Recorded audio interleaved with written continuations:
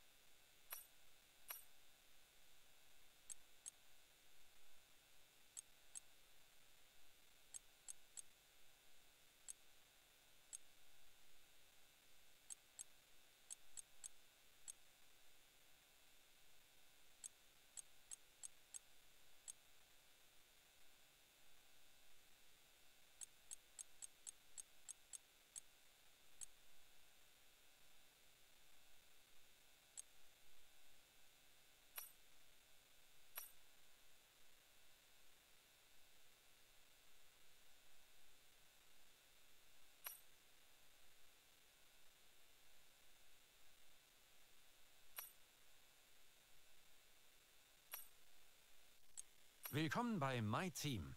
Hier kannst du die Formel 1 nicht nur als Fahrer erleben, sondern auch als Besitzer eines brandneuen Formel 1 Teams. Als allererstes müssen wir einen Charakter auswählen.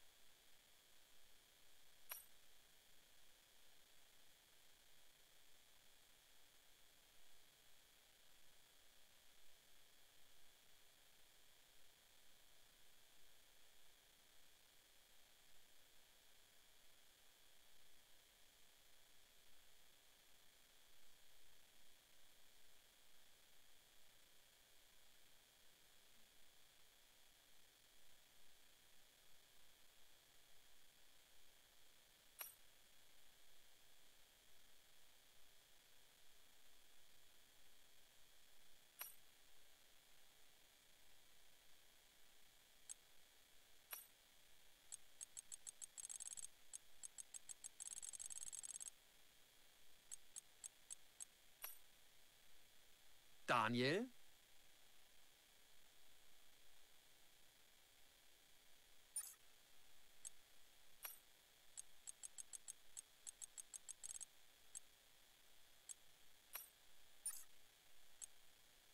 Kümmern wir uns zuerst einmal um das Aussehen deines Fahrers.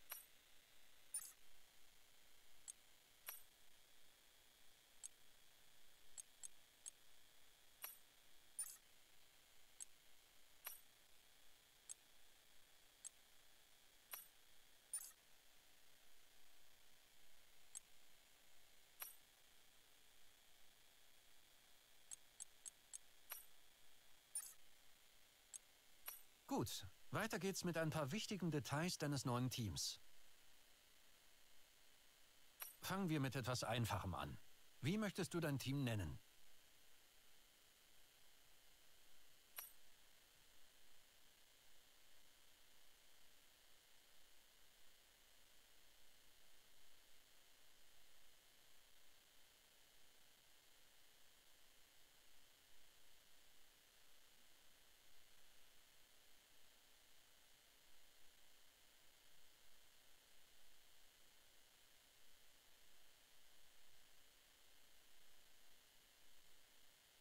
Sehr gut. Jetzt brauchen wir unbedingt ein festes Einkommen. Also müssen wir uns einen Primärsponsor suchen.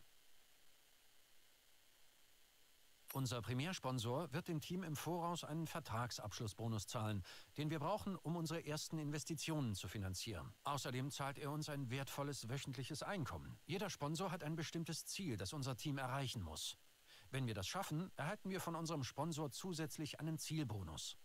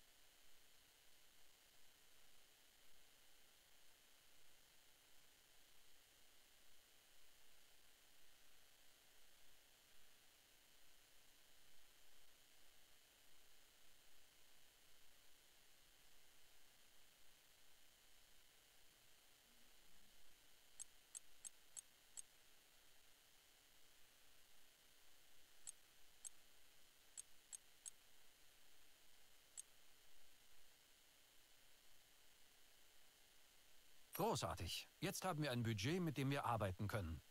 Als nächstes brauchen wir einen Vertrag mit einem Motorenhersteller. Ohne Triebwerk kann unser Wagen nun mal schlecht fahren. Unser Triebwerk sollte leistungsstark und strapazierfähig sein, aber wir müssen auch auf die Kosten achten. Es gibt noch viele andere Dinge, in die wir Geld investieren müssen.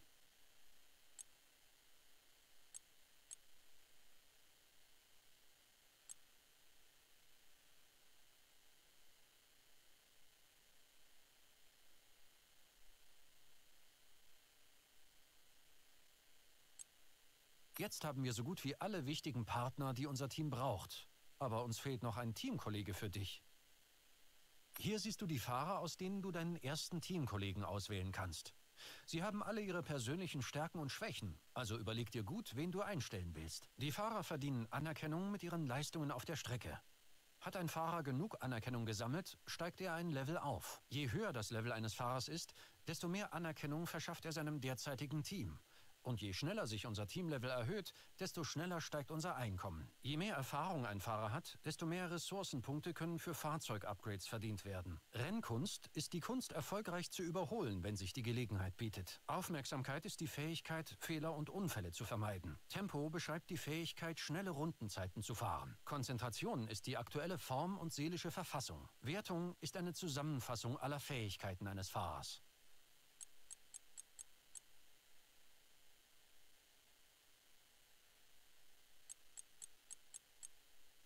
Ja, diesen Motorenhersteller und diesen Teamkollegen können wir uns leisten. Wenn du zufrieden bist, kannst du bestätigen. Jetzt lass uns die Lackierung erstellen, die wir in dieser Saison verwenden. Wenn wir im Laufe des Jahres mehr Sponsorenverträge kriegen, können wir deren Namen hinzufügen. Und keine Sorge, im Hauptquartier kannst du unseren Look jederzeit ändern.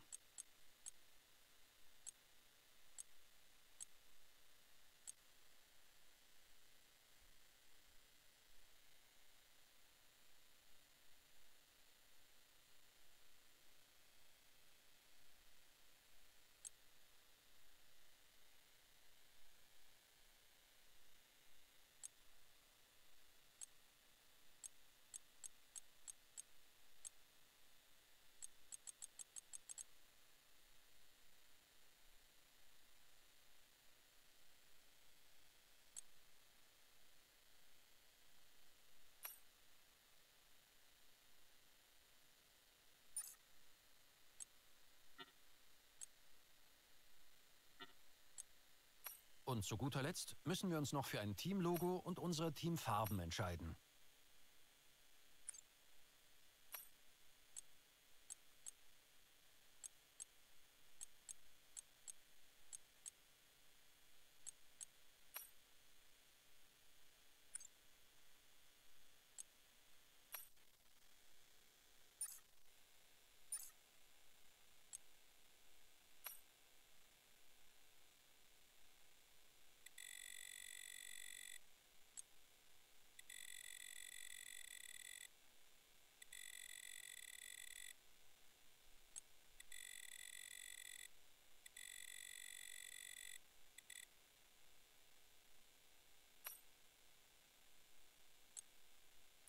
Klasse, das wäre alles. Was wir hier festgelegt haben, kannst du später wieder ändern und wir kommen am Anfang jeder Saison hierher zurück. Wenn du bereit bist, drücke weiter. Dann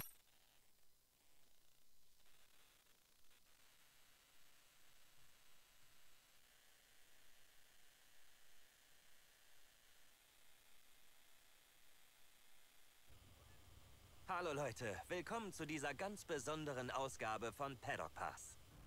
Wir sind hier im Hauptquartier des neuesten Formel-1-Teams und bekommen gleich einen exklusiven Einblick auf das, womit Sie den Sport bereichern wollen. Es ist immer spannend, ein neues Team im Feld zu begrüßen. Dieses Mal ist es jedoch etwas ganz Besonderes, da die Autos dieses Jahr völlig anders aussehen. Ja, die lange erwarteten neuen Reglements sind endlich da und mit ihnen beginnt eine neue Ära der Formel 1. Die Saison 2022 bringt einen Richtungswechsel in den Regeln. Mit den neuen Aero-Extras in Form der geschwungenen Front- und Heckflügel sowie den neuen attraktiven 18 Zoll Niedrigprofilreifen soll für spannendere Rad-an-Rad-Rennen gesorgt werden. Es stellt sich also die Frage, ob sich dieses Team diese Chancen zunutze machen konnte und sich vom Rest des Pulks absetzen wird. Das werden wir schon bald herausfinden, da die neue Saison in den Startlöchern steht. Aber sehen wir uns zuerst die Enthüllung des Autos an, bevor wir den Eigentümer dieses brandneuen Formel-1-Teams kennenlernen.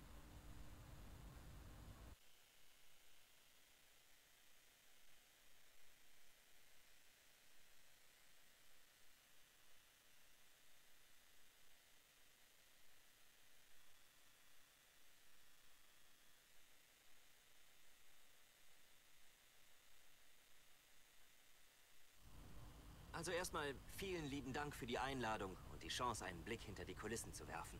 Wie Sie sich vorstellen können, habe ich eine Menge Fragen, also lassen Sie uns gleich anfangen. Es ist schon lange her, da Reden wir mal über Ihren Teamkollegen. Sie haben offensichtlich... Die meisten der... Letztendlich... Und zum Schluss noch... Vielen lieben Dank, dass Sie sich hierfür Zeit genommen haben. Es war großartig, mit Ihnen zu sprechen und uns hier umzusehen. Wie gesagt, wir wissen das sehr zu schätzen. Und lieben Gruß auch an unsere Zuschauer. Bis zum nächsten Mal.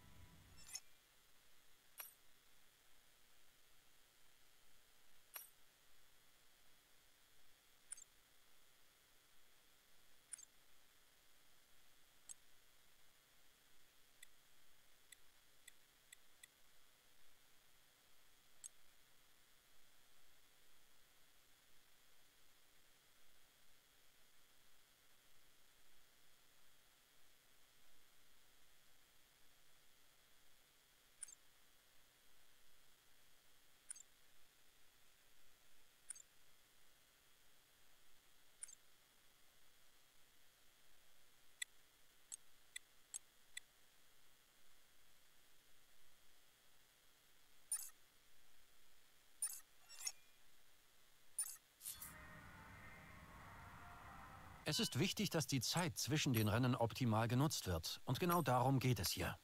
Mit einer effizienten Zeiteinteilung kannst du die Leistung des Teams maximieren.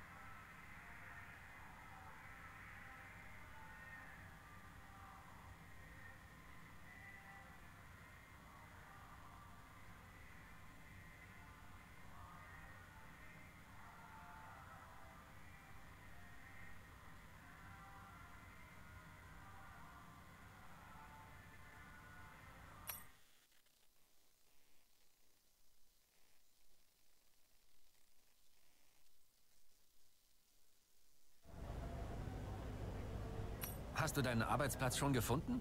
Alles zufriedenstellend? Ich bin übrigens Francisco. Ich leite die Forschungs- und Entwicklungsabteilung des Teams. Schön, dass wir uns endlich kennenlernen. Wir werden viel miteinander zu tun haben. Aber mach dich erstmal mit der Umgebung vertraut. Willkommen an Bord.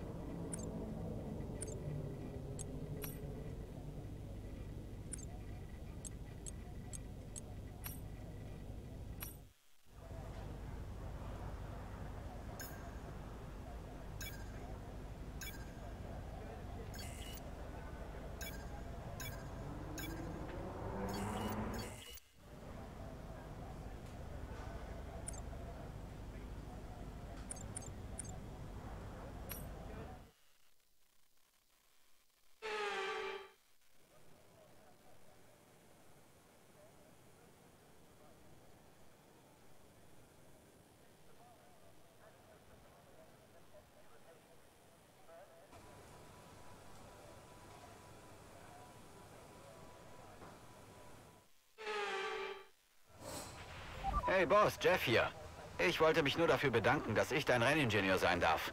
Ich werde dich nicht enttäuschen. Der Wagen ist bereit, aber natürlich auch brandneu. Also könnte es hier und da noch ein paar Probleme geben, aber ich habe alle Daten im Überblick.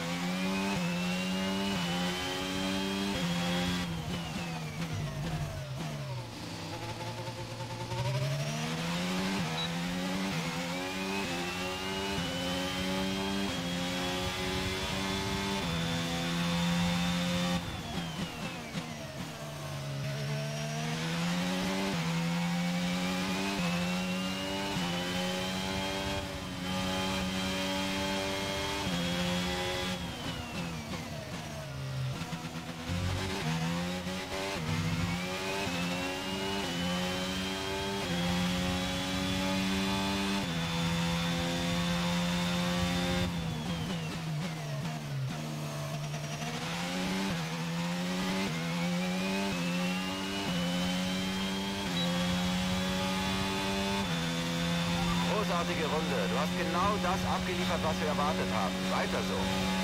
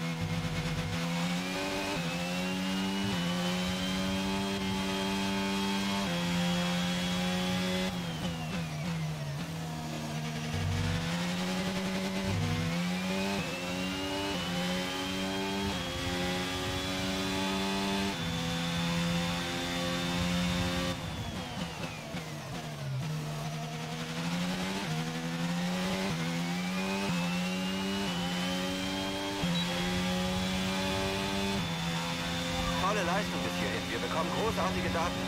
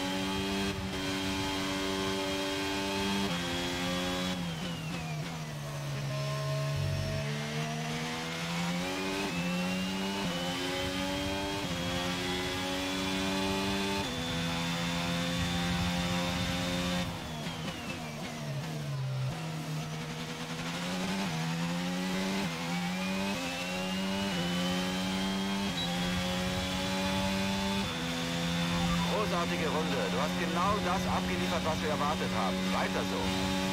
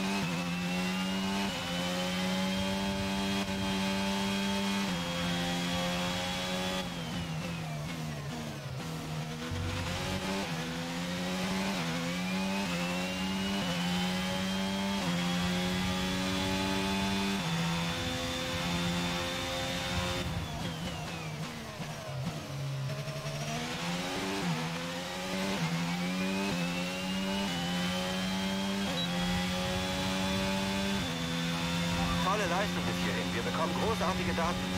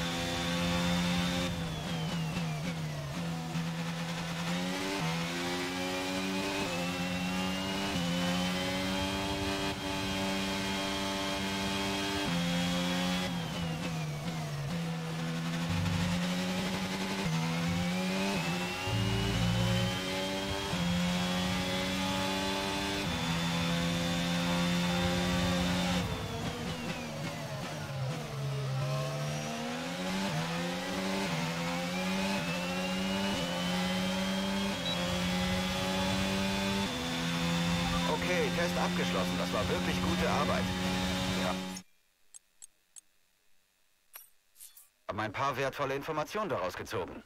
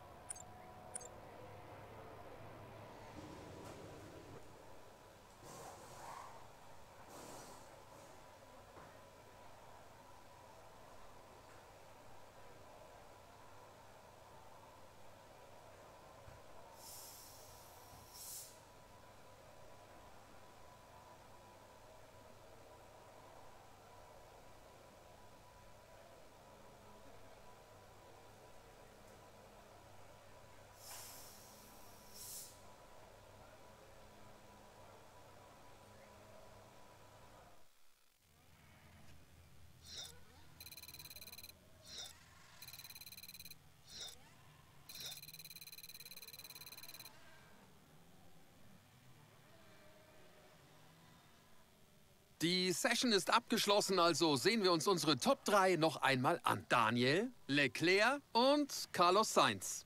Leider müssen wir uns jetzt schon verabschieden, das freie Training...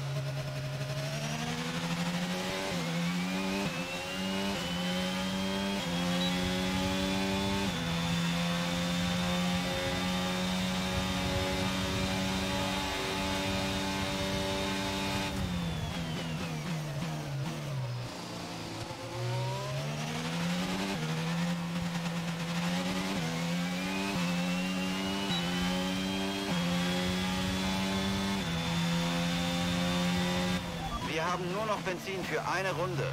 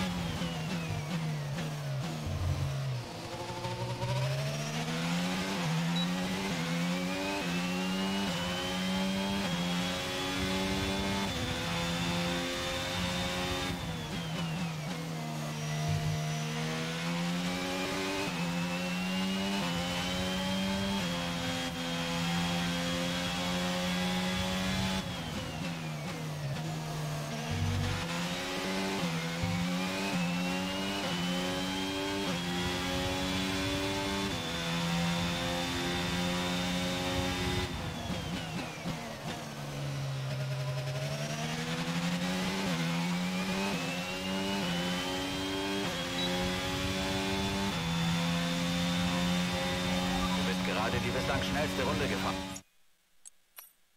Und saubere Arbeit.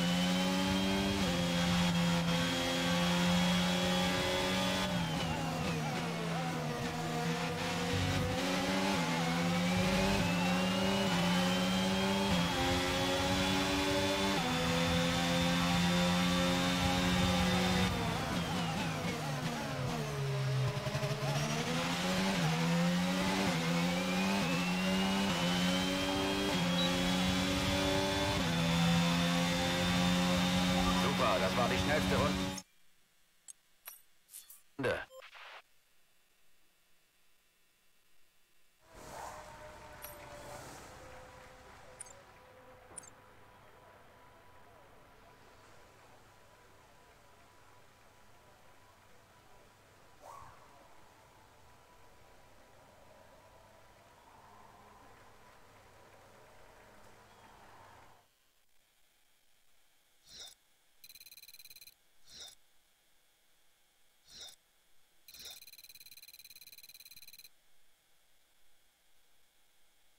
Das Qualifying ist beendet und wir werfen noch einmal einen Blick auf unsere Top 3. Leclerc, Verstappen und Daniel.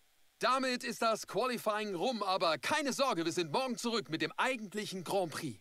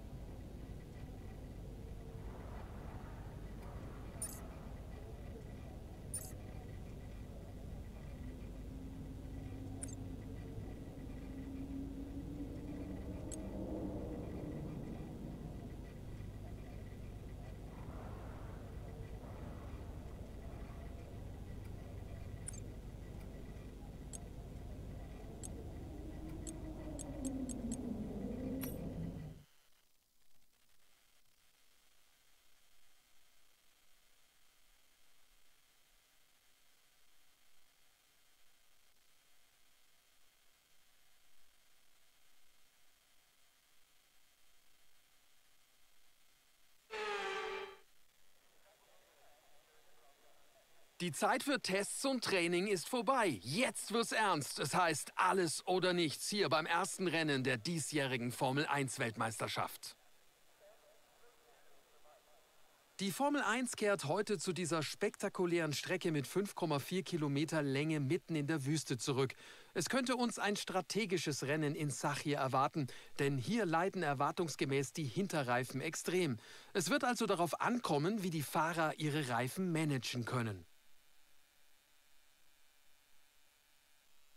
Es sind nur noch wenige Minuten bis zum Beginn des Rennens. So sieht die Startaufstellung aus. Charles Leclerc startet aus der Pole Position. Und daneben steht Max Verstappen, der von P2 starten wird. Im Rest der Startaufstellung haben wir Daniel, Sainz, Lewis Hamilton und Perez, Russell, Bottas, Fernando Alonso und Esteban Ocon, Norris, Magnussen, Yuki Tsunoda und Mick Schumacher, Gasly, Joe, Daniel Ricciardo und Sebastian Vettel. Oscar Piastri, Stroll, Albon und Nicolas Latifi. Und jetzt wird's Zeit, zur Strecke zu schalten. Eine neue Saison, ein neuer Anfang und alles ist möglich. Neben mir sitzt Stefan Römer, um mit mir den Start eines neuen Jahres in der Formel 1 zu kommentieren. Wir erleben gerade die letzten angespannten Minuten vor dem Rennen. Alle machen sich ein bisschen Sorgen um die Verlässlichkeit der Wagen. Denn beim Training waren sie nicht in den heißen Luftverwirbelungen hinter den anderen Autos unterwegs und mussten auch nicht für lange Zeiträume nah an der Leistungsgrenze fahren. Hoffen wir mal, dass es für niemanden eine unangenehme Überraschung gibt.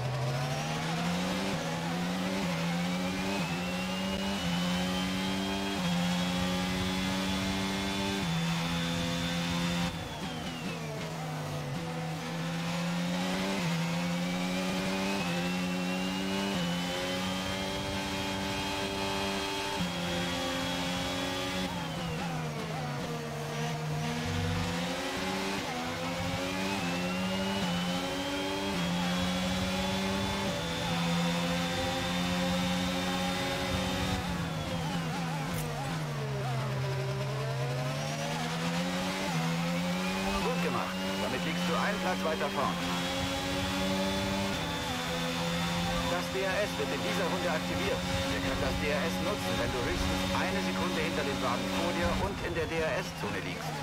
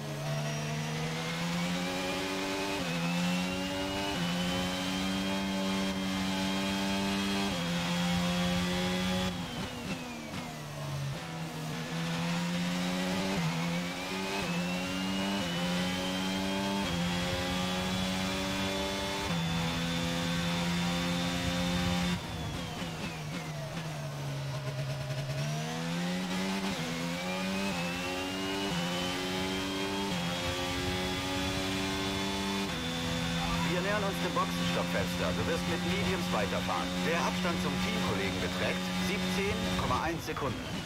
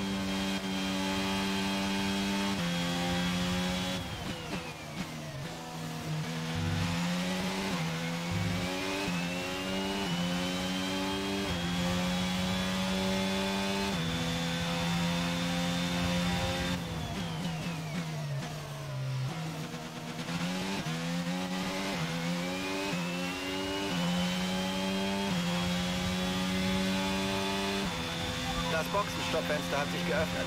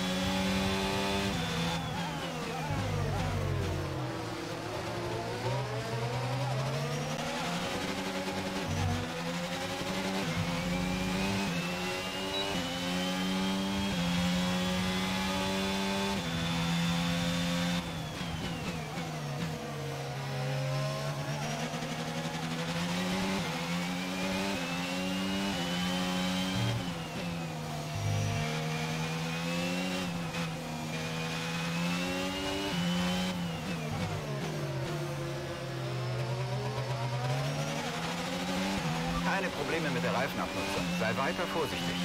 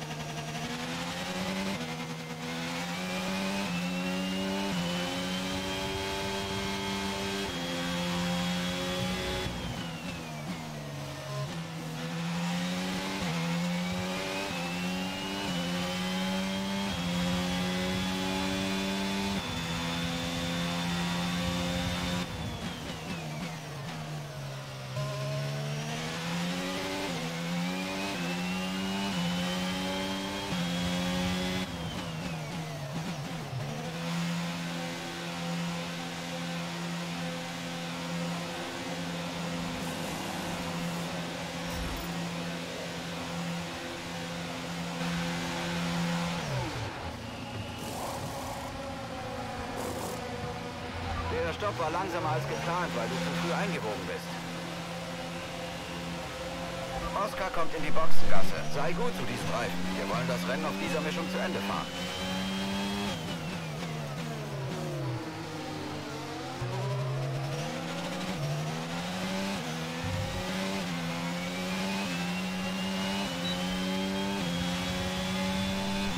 Moin, moin, Dani.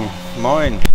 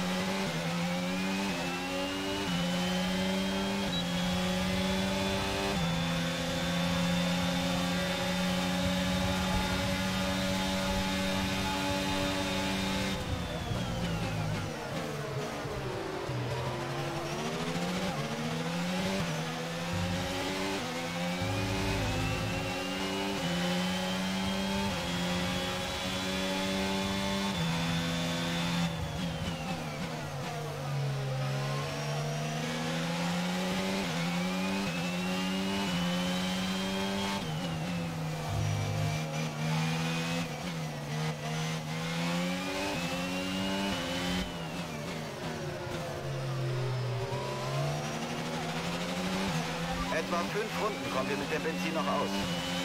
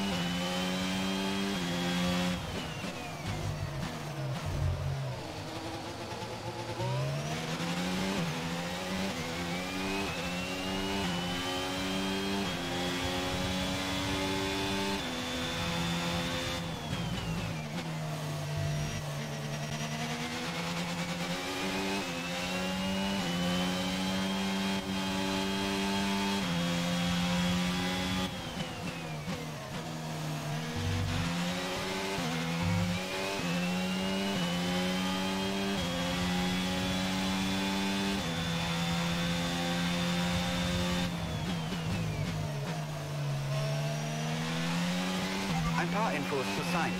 Er wird langsamer. Anscheinend hat er ein Problem mit seinem Auto.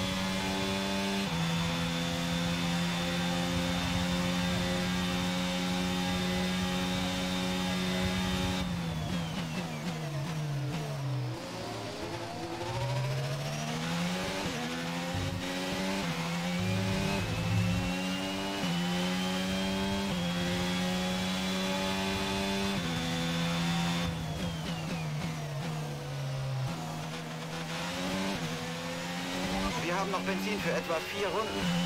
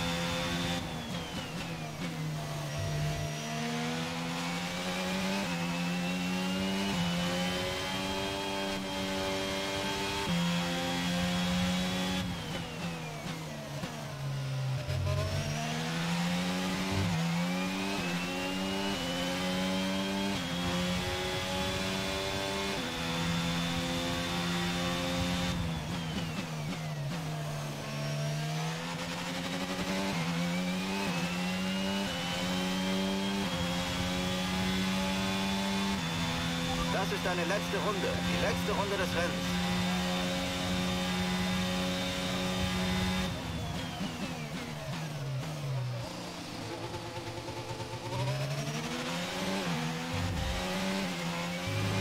Etwa zwei Runden kommen wir mit dem Benzin noch aus.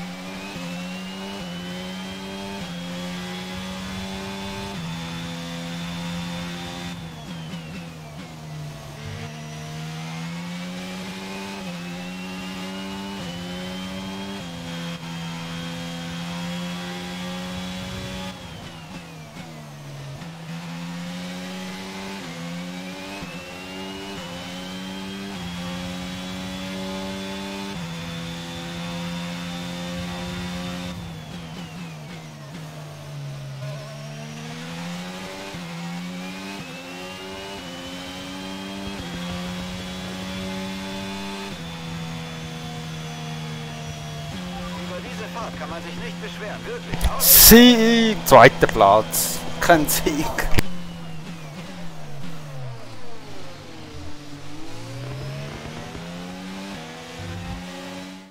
Eine erstaunliche Teamleistung hat hier in der Wüste zum Sieg geführt.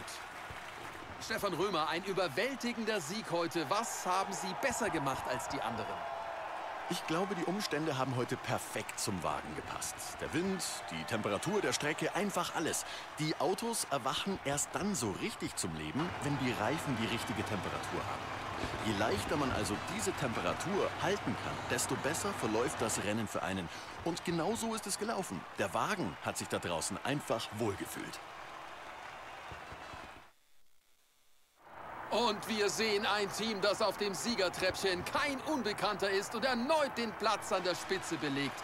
Ein grandioses Rennen und ein beeindruckender Sieg für Ferrari am heutigen Tag.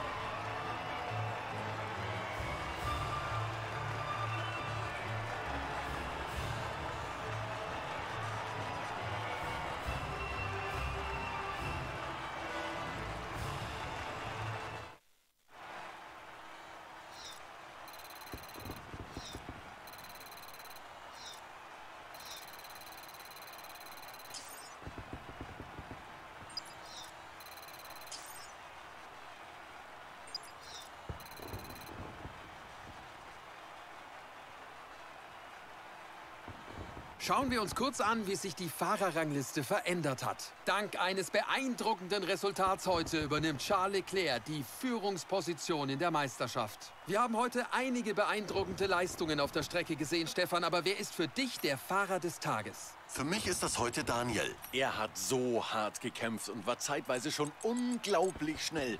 Heute konnte ihm niemand das Wasser reichen. Es ist Zeit, einen Blick auf die Situation in der Konstrukteursmeisterschaft zu werfen. Ferrari übernimmt die Führung an der Spitze der Tabelle.